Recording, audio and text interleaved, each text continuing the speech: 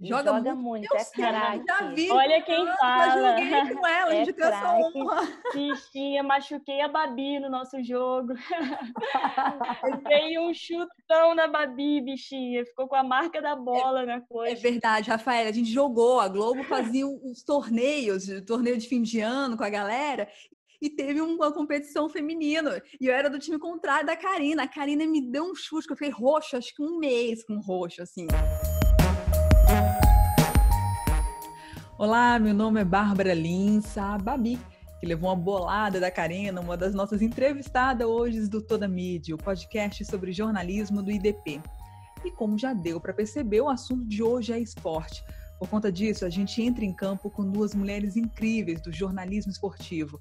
De um lado, a Karina Ávila. A Karina, que é jornalista de esporte da Globo Brasília e que foi correspondente do Passaporte Sport TV na Islândia. Do outro lado, a Rafaele Serafim. A Rafaele é editora na Globo e comentarista do Dominando a Área e do Ubuntu Esporte Clube. Ela também foi uma das primeiras comentaristas negras de esporte da TV brasileira. Já deu para perceber que a resenha tá boa, né? Vamos ouvir? E hoje eu estou muito bem acompanhada. Sejam bem-vindas, meninas. Começando aqui com a Rafaela. Rafaela, é um prazer ter você no Toda Mídia. Prazer totalmente meu. Muito obrigada pelo convite. E Karina também está com a gente hoje. Bem-vinda, Karina. Obrigada, Babi. Estou muito feliz de estar aqui com vocês. Maravilha. Meninas, eu quero já começar entendendo como é que vocês foram parar no jornalismo esportivo? Se é uma coisa que, é, que vem desde o começo, sempre teve interesse com esporte, ou se é uma coisa que surgiu, sei lá, na época da faculdade ou num estágio. Eu vou começar até com a, com a Rafaela, que é a Rafaela que eu sei que veio de berço, porque a família inteira, inclusive a mulherada, é fanática por esporte na sua família, né, Rafaela? Exato, a minha família respira muito esporte, é da galera que se reúne para ver Copa do Mundo, para ver a Olimpíada. Minha mãe, especialmente, é uma pessoa que uhum. viva, vibra demais, ela vibra com o futebol, com o time dela, e essa foi sempre a representatividade que eu tive, até mesmo sem ela entender que ela estava sendo essa minha primeira inspiração, ela já estava sendo. Então, o esporte ele já estava na minha vida há muito tempo e minha mãe sempre me incentivou a praticar esportes. Então, ao longo da minha vida, eu fiz muitas, eu pratiquei muitas modalidades e tive uma vida mais intensa na natação e no futebol de campo e futsal. Você começou no ensino médio fazendo simultâneo técnico e audiovisual, mas naquela época já queria jornalismo esportivo? Eu queria, eu não sabia ainda exatamente sobre o jornalismo esportivo. Eu acompanhava muito, eu achava muito interessante, mas eu tinha problema, problema com câmera. Eu tinha muita dificuldade de me ver atrás da câmera, porque isso tem uma questão é, pessoal e de reconhecimento mesmo da cultura negra, porque eu, enquanto mulher negra, eu não me via na, com beleza suficiente para estar ali. Eu não tinha ninguém como eu ali, com cabelo crespo, da minha cor, tendo essa referência, tendo essa visibilidade. Então eu não conseguia enxergar muito bem que era um caminho, mas eu gostava muito de escrever e de falar sobre esportes. E quando eu entrei no ensino médio, eu já era da Rede Faetec aqui no Rio de Janeiro, eu estudei em colégio público a vida toda. E a Rede Faetec, ela começa a te dar algumas opções quando você termina o ensino fundamental para ingressar no ensino médio técnico. E aí eu, eu vendo a descrição do que era o técnico em audiovisual, eu falei, nossa, é isso, tem tudo a ver com televisão, eu quero trabalhar com televisão. E aí quando eu entrei nesse técnico em produção audiovisual, eu entendi que era ali que eu queria estar, que eu queria de qualquer forma fazer jornalismo. Eu já, aí eu já tinha entendido ali com meus 15 anos o que era essa profissão e que era possível eu estar ali sem ser na frente das câmeras, que tinham várias possibilidades. Então, eu terminei o técnico e aí passei para a Globosat, a antiga Globosat, né? agora é a mesma empresa da Globo, que são os canais a cabo, é, Telecine, Premiere, Multishow, etc. E aí, quando eu comecei o estágio na TV, e numa grande emissora, com pessoas que eu via na TV, aí começou a cair a ficha que eu estava cercada de referências, de, de, pessoas muito especiais, sobretudo no esporte, que era o meu sonho, era onde eu queria estar. E aí a minha jornada começa ali, nesse estágio, nível técnico. Então, eu passei o estágio, aí eu tive grana para pagar a faculdade. Então, no ano seguinte que eu comecei o estágio, eu já comecei, já fiz faculdade, já comecei. Aí me formei justamente no ano de Copa do Mundo, em 2014, aqui no Rio. E foi quando eu falei, eu preciso fazer mais, porque eu já estou vivendo com essas pessoas, mas eu, preciso, eu sou editora, eu preciso escrever, eu preciso ser jornalista. E aí, o Dominando a Área, que é a minha página no Instagram, ela veio, ela começou para que eu pudesse ali ser a jornalista, cobrir é, grandes eventos, mesmo que não em loco, né, mas dando as informações e construindo essa carreira no jornalismo. Maravilha. E Karina, você veio de berço também? Como é que foi essa paixão pelo esporte, especialmente pelo jornalismo esportivo? Sim, desde pequenininha, sempre, assim como a Rafa, né? Desde pequenininha sempre pratiquei esporte, sempre fui uma criança muito ativa. Nunca gostei muito de ficar em casa. Eu gostava de estar na rua brincando de queimada, polícia e ladrão, ah. jogando bola. Na escola cresci jogando futsal. Meu recreio era jogando futebol com os meninos. Minha mãe não me deixava fazer escolinha. Minha mãe dizia que era coisa de menino. Mas na escola eu jogava no recreio, até que na quinta série eu formei o primeiro time feminino de, de futsal da escola e, e, nunca parei, joguei até a época da faculdade. E no jornalismo esportivo, meu primeiro contato foi como estagiária no Correio Brasiliense, fui estagiária da editoria de esportes. E depois saí do Correio, fui estagiar no Globo Esporte. E aí estagiei um ano no Globo Esporte, e aí quando eu terminei o estágio, não tinha vaga para eu continuar. E aí voltei para o Correio, só que para a editoria de cidades, até que a Globo abriu o processo seletivo do passaporte, eu me inscrevi e aí fui aprovada e entrei de novo na Globo pelo projeto Passaporte. E assim, o do... Babi, e joga muito, tá? E joga, joga muito. muito. É vi. Olha quem fala. Eu joguei com ela, é a gente essa honra. Bichinha, machuquei a Babi no nosso jogo. Dei um chutão na Babi, bichinha. Ficou com a marca da bola na É coxa. verdade, Rafael. A gente jogou, a Globo fazia os torneios, torneio de fim de ano com a galera, e teve uma competição feminina. E eu era do time contrário da Karina. A Karina me deu um chute, que eu fiquei roxo, acho que um mês com roxo, assim, da Karina. Mas joga eu encontrei, é, eu encontrei Karina também na formação de um torneio que a Globosat fazia. E a Karina, infelizmente, a gente a energia bateu muito maneira, assim, né? A gente criou um grupinho muito legal e aí a Karina caiu num time contrário ao meu naquele ano vou ter que dizer aqui, né, fazer o lobby que o meu time foi campeão. Não, eu tenho a prova, eu tenho fotos com um troféu, Rafael. É, eu queria ver se você lembrava. Ah, bom. Bate o último pênalti. Bateu o último pênalti. Isso. É. A, o a responsa! Foi... A gente... Não, e mais, a gente foi para disputa de pênalti naquela ocasião foi o meu time contra o dela e a hum. artilheira do meu time bateu o pênalti para fora. E a hum. goleira delas, a goleira do time da Karina, que era improvisada, defendeu um pênalti do meu time e aí elas foram campeãs. Foi um jogo excelente, foi muito divertido aquele campeonato.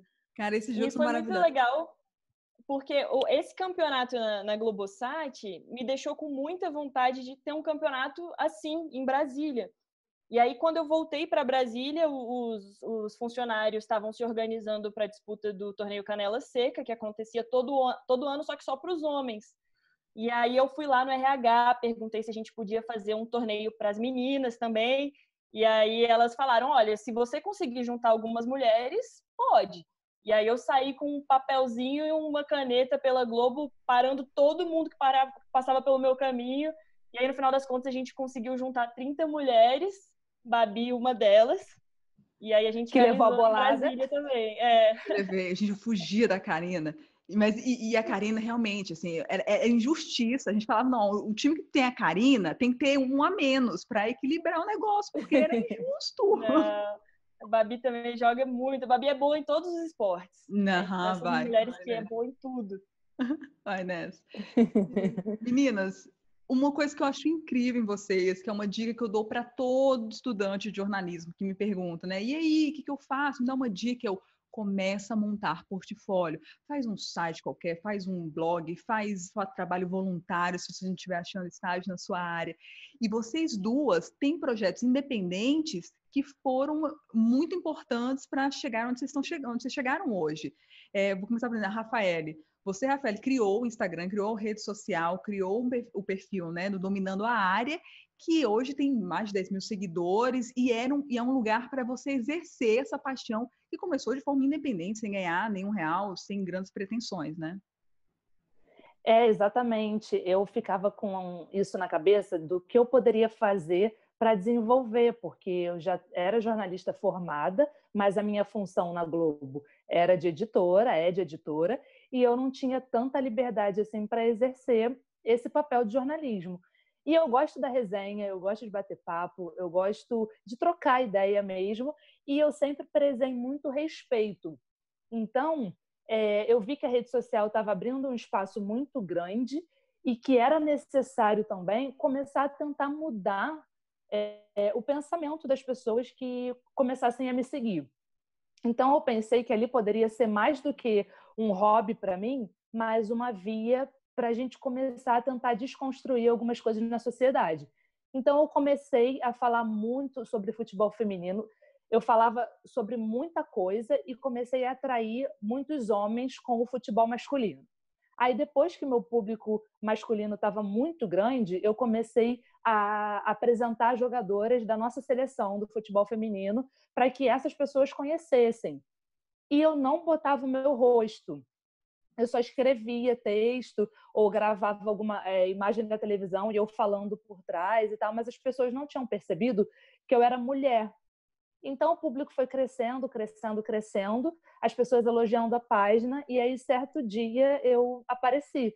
E aí veio uma chuva de gente para falar: "Ué, caramba, você é mulher, dona da página mulher, o conteúdo é tão legal". E aí eu comecei a tentar desconstruir essas pessoas que vieram me falar isso de forma indignada, mas respeitosa, de caramba, que estranho, mas ó, que conteúdo bacana. E aí eu fui tentando eh, fazer esse trabalho também, além da resenha, eu fui tentando conquistar essas pessoas e mostrar para eles que a gente precisa acabar o quanto antes com essa história de que tem gênero para falar de cada assunto. Isso não, não existe, né? Então, Hoje em dia a resenha é muito intensa. Eu tenho ali um pouco mais de 10 mil seguidores e muitas pessoas vêm me pedir palpite de jogo, vêm falar sobre algum jogador que está sendo cogitado para o clube, o que, que eu acho, se eu conheço a história. E aí ficou uma resenha tão legal, tão leve, porque eu tenho, eu assumi um compromisso ali de informar, mas também é muito tranquilo para mim se um dia eu não puder estar ali se um dia eu não estiver legal ou, tiver, ou estiver muito ocupada com outra coisa, eu tenho essa tranquilidade de não ter o compromisso de estar ali 24 horas por dia, como seria um trabalho né, remunerado. E acho que isso vai tornando o caminho um pouco mais leve e as pessoas vão te conhecendo aí um ou outro vão divulgando, é, vai divulgando, né, e vai trazendo à tona, as pessoas te indicam a partir dali e vira realmente, foi o que você falou, Babi, é muito importante porque vira o seu portfólio. Quando alguém pergunta, ah, você, você faz isso? Ah, faço, dá uma olhada no dominão da área. E aí as pessoas começam a conhecer de forma mais intensa o seu trabalho. Perfeito. E Karina, você é com, foi com um livro, né? Eu achei muito legal a sua história, porque o seu livro que você fez virou uma espécie de passaporte para o Passaporte Sport TV, né? Sim, exatamente. E na verdade, meu livro nunca foi algo planejado. Ele começou quando, quando eu fiz uma graduação sanduíche, né? Eu fiz um ano do curso de jornalismo em Sevilha, por meio de um convênio da UNB com a Universidade de Sevilha. E aí, quando eu cheguei lá, nas minhas primeiras 24 horas em Sevilha, quatro fatos me chamaram muito a atenção por serem muito diferentes da nossa cultura. E aí eu peguei e escrevi no Facebook, ah, quatro fatos que me chamaram a atenção no meu primeiro dia em Sevilha. E na época o post bombou, assim, eu nunca tinha recebido muitas curtidas e foram 200, 300 curtidas. E aí eu fui seduzida pelos likes das redes sociais.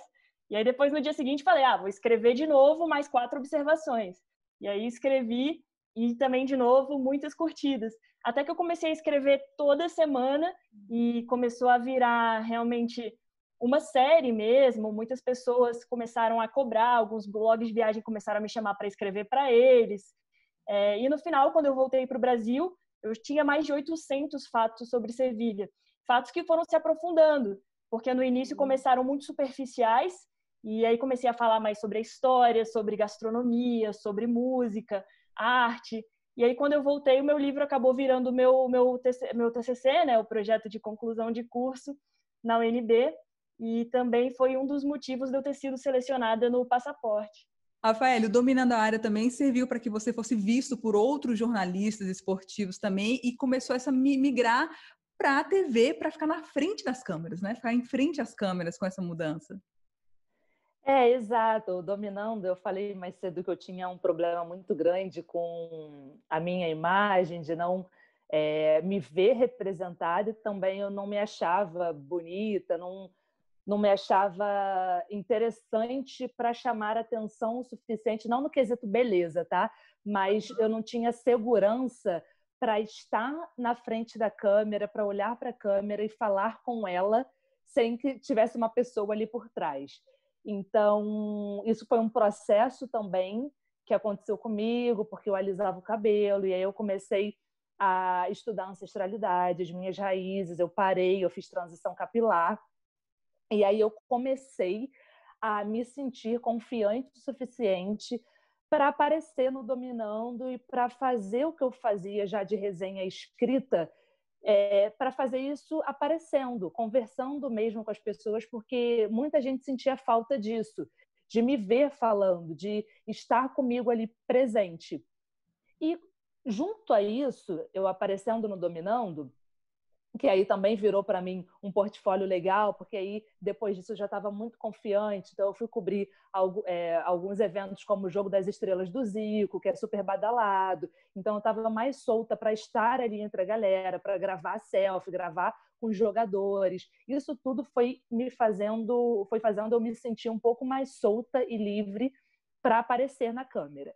E com isso também o portfólio no sentido de networking mesmo, porque todo mundo que eu encontrava e que eu conversava, eu falava que eu tinha vontade de comentar futebol, mesmo que eu soubesse que há cinco anos atrás, por exemplo, a gente não tinha mulher comentando futebol assim numa mesa redonda. Você tinha participações de repórter, mas você não tinha uma mulher.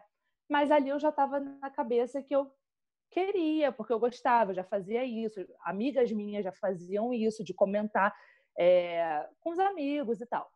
E aí, com isso, de portfólio, networking, aparece no Dominando, conversa com as pessoas, a Vanessa Rich foi uma pessoa fundamental nesse processo, porque eu trabalhei com ela no, na Globo, quando ela era do Sport TV, e depois a Vanessa sai do Sport TV e vai para a Fox, onde ela cria a primeira mesa redonda feminina na Fox, na Copa do Mundo de 2018, e me convida para participar.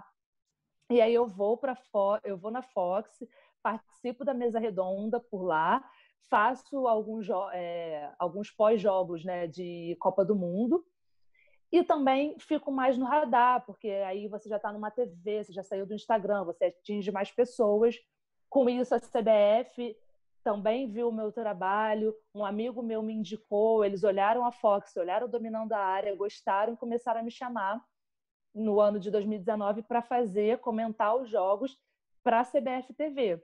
E aí, no final de 2019, é... não, aí na Copa do Mundo da França de 2019, de novo, a Vanessa Rich tem um programa na Rádio Globo, Convocadas, e ela me convida para participar do Convocadas na rádio, que também era um sonho para mim participar de rádio, né, comentar numa mesa redonda na rádio. E depois disso, no final do ano, em novembro, o Redação me convida para participar. E aí, desde novembro, eu venho participando como convidada na mesa do Redação Sport TV. E foi quando abriu ainda mais né, a minha visibilidade, por conta até de eu ser uma mulher negra é, muitas pessoas negras também conseguiram enxergar ali em mim uma representatividade muito forte, porque assim como eu não tive referência, essas pessoas também não tinham, então passou a ter um cunho social muito interessante a minha presença ali. Eu estava realizando um sonho porque eu sou cria da Globo, eu sou estagiária, da, eu fui estagiária na Globo, eu editei o Redação Sport TV durante oito anos e aí alguns anos depois eu apareço na bancada. Então, pessoalmente foi muito especial e gratificante. Abriu as portas para outras oportunidades também. Hoje eu faço parte de um time do podcast Ubuntu Esporte Clube, que são jornalistas negros. A nossa ideia é recuperar a história dos negros no esporte, trazer né, esses heróis que a história fez questão de apagar. Então, foi abrindo porta né, para a gente continuar essa caminhada. Não, achei lindo, achei lindo. Essa iniciativa de vocês tem dado o que falar, né? E tem dado belos frutos. Meus parabéns mesmo, essa iniciativa do Ubuntu. Depois eu vou deixar também no, na descrição aqui do podcast para vocês conhecerem mais sobre esse projeto, que é muito bonito. E, Karina, como é que foi a sua migração? Assim, a gente começou como estagiária também, eu acho que aqui em comum as três foram estagiárias lá na TV e depois migraram para frente das câmeras.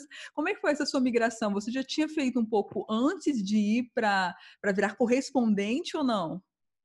Não, na verdade eu me, me joga... eu parecia uma criança que não sabe nadar e aí jogam na piscina e falam, uh! vai, aprende. é, eu eu passei seis meses no Rio em treinamento, a gente ainda nem sabia para qual país cada um ia, né? Nós éramos seis, seis selecionados nesse projeto. E a gente aprendeu a filmar, porque a gente ia completamente sozinho. Então a gente tinha que filmar, gravar, editar, aprender a fazer entrada ao vivo, mas a gente não, não tinha muito, a gente não tinha experiência nenhuma de vídeo de fato na televisão. A gente fez alguns VTs ali de treinamento, mas nenhum foi ao ar. E meu primeiro, meu primeiro contato com vídeo, de fato, foi quando eu cheguei lá na Islândia. Na verdade, teve uma apresentação da gente antes da, da gente ir, né? Uns, uma semana antes da gente ser mandado para os nossos países. Eles chamaram a gente para um programa. Dois, dois dos rapazes foram para o Redação Sport TV. Eu e os outros fomos para o Tá na Área. E eles apresentaram: olha, esses são os, os passaportes que estão sendo mandados para o mundo. E eu nunca tinha aparecido na televisão, eu tava assim, muito. Nossa, eu achava que eu ia desmaiar. Eu tava muito nervosa, eu, meu Deus, eu vou, vou passar mal, vou vomitar, não, não posso. E, e aí acabou que, que eu entrei ao vivo ali, foi desesperador para mim. E aí, quando eu fui para a Islândia, né, quando eu cheguei na Islândia, o pessoal falou assim: Karina, fica tranquila, porque na Islândia você vai fazer mais VT, mais matérias especiais, reportagens gravadas. A Islândia não tem muita notícia factual para a gente ter que ficar fazendo entrada ao vivo na Islândia. A gente não. Vamos ao vivo agora na Islândia? Não, não tem nada acontecendo urgente lá, né? E eu falei, tá bom, né? Fiquei super tranquila. E aí cheguei lá na Islândia no meu primeiro dia, fui no mercado, comprei vários jornais para entender o que estava acontecendo lá, né? Jornais esportivos, para ver o que eles estavam falando da seleção islandesa, como é que estava a expectativa para a Copa do Mundo e os jornais completamente em islandês. Sentei, fui jogando letrinha por letrinha no, no Google Tradutor, é um alfabeto completamente diferente. E aí eu achei uma, uma notícia super interessante, que eu achei, cara, essa notícia é super legal, eu vou mandar para o pessoal do Redação Sport TV debater lá no programa, porque o Redação né, mostrava muito o que estava sendo dito na mídia do, do, de outros países, né, na, na mídia internacional. E eu mandei para eles essa notícia com a intenção de que eles só mostrassem a notícia lá e discutissem entre si. A Rafa ali, ó, falar o que ela acha da, da notícia, mas eu, eu não ia estar. E o editor, e eu tenho certeza que é porque ele não sabia que eu nunca tinha entrado ao vivo na minha vida, ele falou assim: Ah, beleza, Karina, amanhã você entra então com a gente ao vivo. E eu, não, por favor, eu, eu posso fazer um, um, gravado do lado de fora, tá nevando, a paisagem tá linda, tem montanha lá fora. Aí ele, não, é melhor um vivo dentro de casa do que um gravado do lado de fora. Na época eu ainda estava sem equipamento para fazer entrada ao vivo lá fora. E eu fiquei desesperada, eu nunca tinha. Eu era essas, essas pessoas que eu tinha vergonha na faculdade quando o professor pedia para a gente dizer nosso nome e porque a gente tinha escolhido o curso. E aí fiquei a noite inteira rezando, me preparei, decorei o texto inteiro, e aí quando eu me posicionei, era com Skype, né, essa primeira entrada, e eu só olhava em volta, assim, para me tranquilizar, né, para ver que eu estava em casa, que nada podia me acontecer ali, e eu só pensava assim, Karina, se der algum problema, você só se esconde. Eu, eu fiquei mentalizando isso. Se der algum problema, você sai da câmera e, e vai embora, como se você tivesse morrido, e pronto. Pronto. E aí, e aí, quando eles foram me chamar, né, eu com aquele coração transpirando, é, eles já começaram brincando. Era o Marcelo Barreto que estava apresentando. Maravilhoso. E ele já começou né, fazendo brincadeira mesmo, perguntando por que, que eu estava abrigada dentro de casa, se estava muito frio, se estava ventando muito lá fora. E aí que eu comecei a conversar com ele sobre frio, sobre vento, sobre essas coisas mais, né, mais, mais tranquilas. E aí, quando chegou a hora de falar da notícia, de fato, eu já estava bem mais tranquila. E eu, eu acho que, que assim, eu, eu quando meus chefes, na, na época, descobriram que eu ia entrar ao vivo, eu acho que ficou todo mundo desesperado porque eles sabiam tanto que eu ficava nervosa e que eu não tinha experiência com isso, e eu acho que ficou todo mundo na frente da TV esperando um desastre, assim. E aí, no final das contas, deu tudo certo, tanto que no final, assim, eu recebi muitas mensagens, mas eu acho que era a galera aliviada, do tipo, deu tudo certo, não, não rolou nenhum desastre. Até que eu comecei a entrar ao vivo sempre, eu, tava, eu, eu lia, eu acompanhava muitas notícias, os jornais, e estava sempre enviando para o pessoal, do, principalmente do Redação, e aí acabou que eu entrei ao vivo muitas vezes, muito mais do que o pessoal esperava que eu fosse entrar. Mas assim, minhas primeiras experiências foram de fato quando eu já estava lá na Islândia. Ah, mas, gente, eu acho que é uma constante. Quem tem ouvido os podcasts do, do Toda Mídia já viu. Olha, a Lilian Tarran, quando foi entrar a primeira vez ao vivo também, o Antônio Tabet, que estava cobrindo esporte, a chegada do Romário, no, a chegada do Bebeto no Flamengo, todos eles ou fingiram que a ligação tinha caído, ou eles mesmos desligaram, ou, ou a rádio desligaram. Então, olha, fazer essas, fazer essas estratégias aí não é o fim do mundo para quem está começando, não. É, e meninas, além disso, assim, tem muito perrengue na vida de vocês? Tem esses casos legais, assim, você, Rafael, foi para bancada, virando a primeira comentarista negra, a gente tem registro, né? A Karina também já começa indo para a Islândia, virar correspondente, que é o sonho de consumo. Acho todo mundo que entra no jornalismo um dia assim, pô, queria ser correspondente isso é muito lindo, mas também tem muito perrengue essa profissão, né? Assim, vocês lembram algum perrengue que vocês já passaram? A Islândia realmente foi, foi perrengue atrás de perrengue, até porque é um país muito frio e, e onde venta muito. Os ventos na Islândia chegam a 100 km por hora, são uhum. muito fortes os ventos. Então, no início, é, eu colocava a câmera em cima do tripé, né? Eu sempre me gravava, botava a câmera em cima do tripé, virava a telinha da câmera para mim, ia para frente da câmera. E o vento sempre derrubava o tripé. Então eu botava a câmera em pé, aí o vento ia lá e derrubava. Aí botava, aí tinha, eu tinha que achar um lugar protegido do vento, mas também do lado de fora, para mostrar a paisagem e é, o vento o vento é tão forte lá que eles espalham cartazes pela cidade falando para as mães tomarem cuidado com as crianças e com os animais de estimação, porque o vento leva os bichinhos, é, é, muito forte. teve, teve um caso lá, na época que eu estava lá, de uma jacuzzi. O pessoal lá tem muita jacuzzi no quintal, essas banheiras de, de água quente mesmo, que o pessoal fica lá no inverno na, na água fervendo. E uma jacuzzi foi levada pelo vento. Imagina, isso, você está no meio gente? da rua e vem Meu uma Deus. jacuzzi na sua direção. Então, os ventos realmente foram. Depois, quando, quando o inverno foi passando, a temperatura foi aumentando um pouco, os ventos vão dando uma diminuída, mas foram, foram bem tensos. Outro também que foi bem desesperador para mim foi na época da Copa já. É, eu ia me, me avisaram que eu ia fazer uma entrada ao vivo com a Fernanda Gentil e eu fiquei muito animada, assim, que eu era muito fã dela e eu, meu Deus do céu, vou entrar com a Fernanda Gentil. E aí me preparei, fui lá pro lado de fora fazer entrada com Skype, procurei algum lugar para apoiar o computador. Geralmente eu procurava uma, uma lata de lixo, uma mesinha, uma praça ali para apoiar o computador. E nesse dia estava chovendo muito, então eu estava na praça esperando embaixo da chuva me chamarem para a entrada. E aí, cinco minutos antes de eu ser chamada, o computador apagou, porque estava chovendo muito em cima dele. E aí eu fiquei desesperada, eu, não, bem, bem hoje, bem nesse dia que eu ia entrar ao vivo com a Fernanda Gentil. Aí eu avisei o pessoal que o meu computador tinha apagado, pedi para eles tentarem passar a minha entrada, né, para depois. E aí eu fui correndo para dentro de uma cafeteria, sequei o computador, liguei na tomada, avisei o pessoal que eu tinha achado um lugar. E aí, assim que eu liguei o computador, eles falaram: "Karina, vamos te chamar em um minuto". Aí me preparei e entrei completamente encharcada, mas deu certo no final. Ah, essas que são maravilhosas, né? Assim, eu não essas, essas loucuras. Tem muita gente que nem imagina, né, Karina? Assim, os, perrengues que a gente passa, gente invadindo o link. Inclusive, você teve um jogador invadindo o link recentemente que viralizou, né? Sim.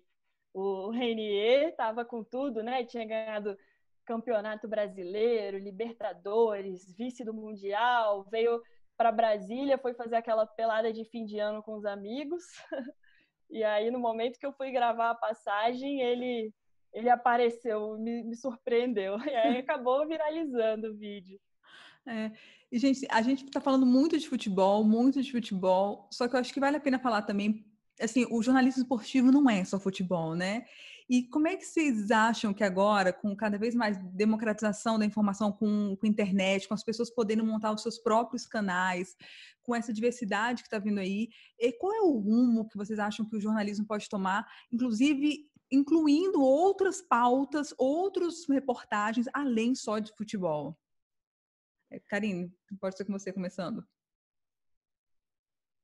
Bom, é o esporte, ele engloba tudo, na verdade, né? Eu acho que o esporte é uma ferramenta de mudança social muito poderosa. É... Por exemplo, nessa pandemia, é, eu, eu, já tinha feito uma matéria também que acabou viralizando, que é com o menino Pablo, tenista do, do Sol Nascente. Eu não sei se vocês viram, uhum. ele improvisou uma quadra de tênis no, no quintal de casa. Ele mora numa casa muito simples, na maior favela aqui do Distrito Federal e sonha em ser um, um, jogador profissional de tênis. E ele colocou dois pedacinhos de madeira no chão, prendeu um lençolzinho no meio, coloca a avó dele que, que o criou, né, para ficar treinando com ele lá e ele fica treinando incansavelmente. E essa história também, né, a, a imagem é muito forte, né, e, e a, a persistência desse menino é algo muito bonito, assim. E agora, por exemplo, nessa pandemia, a avó dele veio me procurar perguntando se eu não conhecia alguém que tivesse vendendo um computador usado mais barato, porque as aulas dele né, na escola estão sendo à distância e ele não tem computador para estudar. Não. Então, eu acabei voltando lá no, no, menino que sonhava, né, que sonha ainda em ser um jogador de tênis, para falar de, de educação mesmo, né? Tantas crianças que não estão conseguindo é, acompanhar as aulas na escola porque não tem internet, porque não tem computador, porque não, não tem estrutura, né, para poder estudar. Então, a, e, e, no final das contas, né, depois dessa matéria, ele ganhou computador, ganhou tablet, muita gente também apareceu querendo ajudar o, o Pablo a estudar. Então, o esporte ele acaba é, sendo capaz de, de mudar a vida das pessoas de outras maneiras também, né? Rafael, como é que você acha isso? Você acha que mais assim, outros esportes ganharam mais destaque recentemente? Você mesmo dominando a área, colocou o futebol feminino, mas acha que tem ganhado mais destaque outros esportes que antigamente só tinham os grandes meios de comunicação, só falavam nos principais esportes que davam retorno, né? Você tem visto iniciativas, você conhece é, estratégias, iniciativas bacanas, projetos que cobrem o jornalismo esportivo de uma maneira diferente ou dando visibilidade para outros tipos de esporte? Isso é exatamente o que a gente tenta fazer no Ubuntu e a gente até trabalha no Ubuntu como ele sendo Ubuntu Esporte Clube, não só futebol. Porque, por exemplo, no Dominando a Área, a zona de conforto da maioria né, das pessoas, dos jornalistas esportivos, é o futebol, porque é o esporte mais popular do país. Então a gente vive intensamente isso e eu com dominando não foi diferente comigo, né? Então no dominando eu foquei no futebol e aí eu comecei a falar sobre as raízes do futebol no Brasil, comecei a falar sobre as primeiras mulheres que praticavam o esporte e também dar informação no factual que acaba o que eu, é onde eu consigo martelar mais. E aí o Ubuntu Esporte Clube, ele sai justamente, surge justamente dessa necessidade que é de falar, claro que a gente está falando especificamente é, de atletas negros, porque são os inviabilizados pela história. E aí só são falados, só são vistos quando o assunto é racismo, quando algum deles sofre racismo e a gente levanta a pauta de racismo. Mas, naturalmente, não se fala das conquistas, das dores, das lutas e das alegrias dos negros no esporte. Então, a nossa ideia, a nossa intenção é justamente isso, é ser o que a Karina acabou de falar, que é essa ferramenta social de recuperar a história e também dar visibilidade não só a quem construiu a estrada e pavimentou para chegarmos até aqui, mas também dos que hoje conseguiram. E, por exemplo, no Brasil a gente sabe que classe social tem cor e ela é negra. Então, quando você fala de esporte, você não vê negros no esporte de elite. Você raramente vai ver o tenista que a Karina foi lá atrás, ele conseguindo ali sozinho uma oportunidade. Não, às vezes precisa de uma matéria, de uma reportagem para que as pessoas consigam enxergar esse menino como um atleta em potencial, por mais que ele tenha todo esforço e dedicação, ainda assim ele não é visto. E quantos talentos a gente não perdeu no meio do caminho? Eu acho que essa pauta é urgente, é para ontem, porque a gente precisa falar de esporte, porque nós somos referência no esporte paralímpico e quantas, quantos atletas paralímpicos a gente conhece, medalhistas, recordistas, a gente não fala sobre. Então, eu acho que é uma pauta, Babi, muito boa para a gente tratar e começar a se mexer mesmo, sabe? Não só falar. E agora tem o Ubuntu que a gente está fazendo esse trabalho, mas todo mundo tem que fazer esse trabalho no todo, porque a gente perde muito talento, a gente não dá atenção, a gente só conhece as pessoas que vencem. A gente só conheceu Isaquias Queiroz, que bateu o recorde, ele é o único brasileiro que tem três medalhas na mesma competição. Na canoagem, a gente não sabia em 2016 nem que a gente tinha atleta na canoagem. Então, é esse tipo de coisa é, é, muito triste. Assim, a gente precisa recuperar a história do esporte. Se a gente quer ser potência, a gente precisa apoiar os atletas para que a gente vire potência. Agora, com a pandemia, está sendo difícil para todo mundo fazer o, o, fazer jornalismo, né? Assim, a gente fica limitado, ou fica em casa, ou tem home office, ou tem limitação de lugares onde a gente pode ir, onde é seguro ir.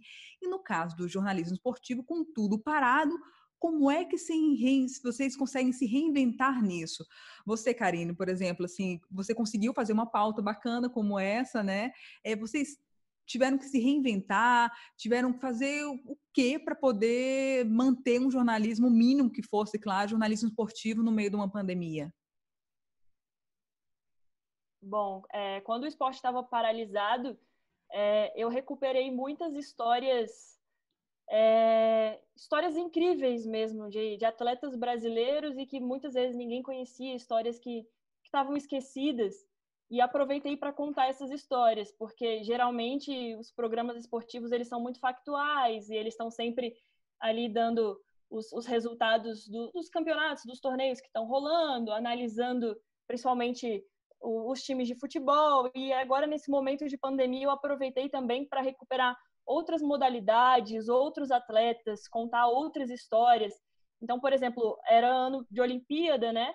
E antes das Olimpíadas serem adiadas, eu tinha feito um levantamento de quantos atletas, ex-atletas olímpicos moravam aqui em Brasília. Queria ver uhum. quantas tá. pessoas daqui de Brasília tinham participado de Olimpíadas. E eu acabei descobrindo que muita gente aqui em Brasília já participou de Olimpíada. Era, foi um número assim, Quantos? assim altíssimo. Foram 16. Olha só para Brasília. E, Caramba! Sim. É, é, eles não, não, não são atletas mais, né? Mas 16 pessoas aqui já tinham participado de uma Olimpíada. E um deles, por exemplo, é o Ari Façanha de Sá, que ficou em quarto lugar nas Olimpíadas de 1952, no salto em distância. É um senhorzinho, ah. inclusive, é, ele faleceu essa semana, Nossa. com 92 anos de idade. E no dia 1 de abril, né, foi o aniversário de 92 anos de idade dele, e eu tinha conseguido conversar com ele, foi uma das conversas mais enriquecedoras que eu tive na minha vida. Ele me contou muitas histórias. Ele foi o idealizador dos JEBs, os Jogos Escolares Brasileiros. Ele foi preparador físico do time de futebol do Vasco. Ele foi o primeiro brasileiro a saltar mais de 7 metros. Né? Ele era de salto em distância. Então, assim, fiz uma, uma reportagem contando a história dele. Muita gente não sabia que tem um senhorzinho aqui em Brasília, né, que tinha participado de uma Olimpíada e ficado em quarto lugar em 1952, em Helsinki, na Finlândia. Então, foram histórias incríveis, assim, de gente né, que, que nunca teve, nunca teve espaço na mídia, que tem histórias muito bacanas para contar e por serem de modalidades que são menos acompanhadas, né, que não, não tem tanta oferta de conteúdo aqui no Brasil, acabaram ficando de lado. Então, aproveitei para contar muitas histórias é, nesse sentido. E agora a gente está tendo a, a, limitação, a, gente ainda aqui, pelo menos em Brasília, a gente não está podendo no esporte mandar equipes para a rua. Então as entrevistas estão sendo feitas todas à distância e também tem sido um desafio. Por exemplo, essa semana a gente foi entrevistar a judoca Kathleen Quadros, que é daqui de Brasília também, de Ceilândia, a primeira brasileira a ganhar uma medalha olímpica em uma modalidade individual. E ela está treinando em Portugal, na Missão Europa, e aí a gente combinou, conseguiu combinar depois de muito tempo tentando uma entrevista com ela na terça-feira por Skype. E aí quando chegou na hora da entrevista, o Wi-Fi do hotel dela em Portugal caiu. Então a gente não conseguiu fazer porque ela não tinha internet em Portugal. Então tivemos que remarcar. Então assim, tem acontecido esses esses perrengues. Também, por exemplo, como a gente não está mandando equipe para a rua, é, a gente está ilustrando as matérias com imagens que os é, entrevistados enviam para a gente, geralmente imagens de celular mesmo, então as imagens também perderam um pouquinho da qualidade, né? Porque antes a gente mandava cinegrafistas profissionais. Então a gente não não está mandando mais, né? Não não está usando mais equipamento profissional para fazer imagens. Geralmente são vídeos que, que os entrevistados nos enviam por celular mesmo. Mas a gente está tá conseguindo se virar. O pessoal também é muito criativo. Essa semana, por exemplo, estava rolando um campeonato mundial de SUP à distância stand-up paddle. Então, a gente aproveita também, vai na onda da criatividade do pessoal e consegue fazer algumas matérias diferentes. Maravilha. E você, como é que tem se virado, Rafael? Olha, torcendo para a internet não cair quando eu estou no Redação Sport TV, sempre. E aí tem os perrengues, por exemplo, outro dia eu estava perto de entrar no Redação e aí começou uma obra no meu vizinho de cima e foi uma loucura, me bateu um desespero. Tipo, 9h40, a redação entrava 10 horas e começou uma barulhada que eu ficava, eu falava, eu fiquei numa tensão e eu falava e mutava. Sempre que eu parava de falar, eu já mutava o meu áudio e ficava fazendo isso toda vez que eu ia é, participar, né, com algum comentário. E foi uma tensão o tempo todo. E aí eles começaram a me zoar, né? falando: Meu Deus, e aí, vizinho da Rafa, se estiver vendo a gente, tem como botar a obra aí para depois de meio-dia? E aí a obra parou, parou do nada. E aí a gente começou a brincar com isso, né? E caramba, então acho que ele está vendo mesmo, acho que ele está assistindo. Aí rolam, rolaram umas coisas legais, assim, divertidas, mas é um perrengue que te deixa muito tensa, porque era um barulho muito alto no meu microfone, aí o Twitter, todo mundo falando disso, e o vizinho, o vizinho, barulheira, nananã.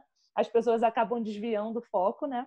E no Dominando, com a falta de conteúdo, eu comecei a criar um Enem, o Enem do Dominando. E aí eu fazia assim, pegava alguns assuntos é, de contratações, quem foram os campeões de torneios que tinham parado na pandemia e tinham decretado campeões né, por conta da parada, quais é, países na África já tinham encerrado o campeonato, quais ainda iam disputar. Aí, por exemplo, o grande craque, de onde, de que país ele é. Aí eu comecei a tentar criar, porque era na época que a polêmica do Enem estava muito forte sobre adiar ou não. Aí eu falei, então vamos fazer o Enem do futebol. E comecei a criar algumas estratégias para isso. E também eu fiz uma série de estádios, porque eu aproveito nas férias, eu tento sempre visitar algum estádio no lugar que eu vou viajar. Que eu amo estádios tão tanto os maravilhosos e tecnológico, tecnológicos quanto os mais simples, né, mais antigos, que tragam aquela história toda no concreto, né, que não tenha tanto plástico. Então, eu tinha conhecido já mais ou menos 14 estádios fora do país e aqui no Brasil. E falei, bom, dá ali, a cada dois dias eu posto um estádio, eu já ganho um tempinho aí, ganho um mês. E assim eu fiz. E aí, quando eu ia mudar a estratégia, ia começar a falar sobre uma mini coleção de camisas que eu comecei, aí o futebol voltou. Primeiro voltou na Alemanha, depois foi voltando a La Liga na Espanha, e aí eu comecei a ter assunto factual, deixei para a próxima parada, né? De repente, entre safra de temporadas, aí eu lanço a próxima campanha. É, a gente vira a criatividade que a gente tem adquirido com essa pandemia é incrível, dá para usar aí para o resto da vida. E para encerrar, eu sempre peço para as pessoas para indicarem algum livro, algum filme, algum documentário, qualquer coisa que vocês é, possam achar interessante para pessoas que querem seguir esse caminho de jornalismo esportivo, né? É, alguma personalidade que vocês acham que é referência, que vale a pena seguir, uh, filme, livro, série, documentário, qualquer coisa tá valendo, assim. É, de vocês duas, vamos mostrar a Karina aqui, que é escritora. Karina, tem algum, algum material cultural que você acha que é interessante para as pessoas que têm interesse em jornalismo esportivo seguirem? Bom, eu vou indicar dois documentários que eu assisti recentemente, que enfim, eu gostei muito, e estão disponíveis na Netflix. Um deles chama Ícaro, não sei se vocês já viram, é sobre um cara que era, que era ciclista e ele decidiu se, né, ele, ele tinha um sonho de, de ser campeão e ele decidiu fazer um teste nele mesmo, ele começou a se dopar para ver se com o doping, de fato, ele conseguia atingir níveis extraordinários. E fazendo esse documentário, ele descobriu todo o esquema de doping que estava rolando com os atletas na Rússia. E o documentário é muito bom, assim, vai mostrando tudo que aconteceu. E outro é o Campeões da Copa, que são com todas as seleções que já venceram a Copa do Mundo masculina, entrevistas com atletas, treinadores, jornalistas, historiadores, e é muito bacana também o trabalho. Maravilha. E você, Rafael? Olha, para quem quer ser comentarista, eu acho que a pirâmide invertida é quase uma bíblia do desse segmento da evolução do futebol. Acho que é um livro extremamente importante para a gente entender a evolução do futebol em esquemas táticos e estratégia. E também tem uma série na Amazon que é bem legal, que é All or Nothing, que é sobre a preparação uma temporada inteira de um clube. Então, por exemplo, eu assisti o do Manchester City, que é muito legal, e também tem da seleção brasileira lá, que é da Copa América agora, né, 2019, que a seleção venceu. Então são dois conteúdos muito legais assim, em forma de documentário e que mostram um bastidor, né, que eu acho que é o que a gente adora também no futebol. Perfeito. Olha, meninas, muito obrigada, viu? Karim e Rafael, muito obrigada por cederem aí esses minutos para a gente, para mostrar um pouquinho das experiências, do que é o jornalismo esportivo e aumentar né, o olhar sobre essa profissão. Obrigada mesmo. Eu que agradeço, um prazer enorme estar no Toda Mídia Podcast, que é um, uma referência para a gente na profissão e que com certeza abre os caminhos para muita gente. Sim, me sinto honrada de estar aqui com duas mulheres que eu admiro muito, duas jornalistas que eu sou muito fã. Muito legal mesmo bater esse papo com vocês. Ai, obrigada, gente. E obrigada você que estava aqui com a gente até agora. Semana que vem tem mais toda mídia. E se você quiser saber mais sobre os podcasts, é só acessar o www.idp.edu.br. E se você viu a gente pelo YouTube, sabe que o Toda Mídia está nas principais plataformas de podcast. É só acessar o site do IDP Talks e você descobre todas as plataformas para poder acompanhar e seguir o Toda Mídia por lá. Até mais!